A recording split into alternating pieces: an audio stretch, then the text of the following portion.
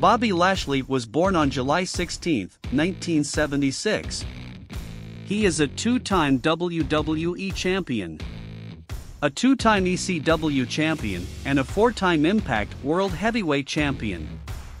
Lashley has also won the United States Championship three times, and the Intercontinental Championship two times.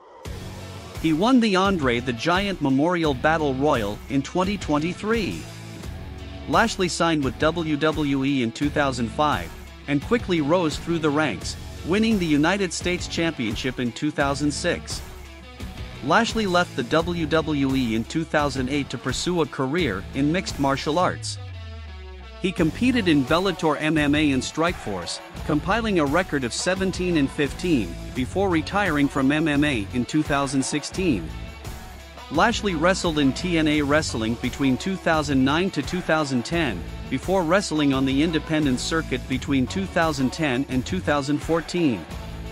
Lashley wrestled in Impact Wrestling between 2014 and 2018, having feuds with the likes of Bobby Roode, Eric Young, Alberto Del Rio, Drew Galloway, and Moose.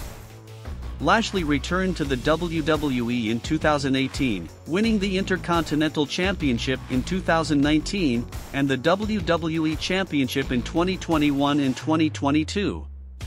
Lashley was part of the Hurt Business between 2020 and 2022. Bobby Lashley returned to SmackDown this past week, and he was talking to the Street Profits. They drove off together in a limousine, suggesting the possibility of a new faction forming between them.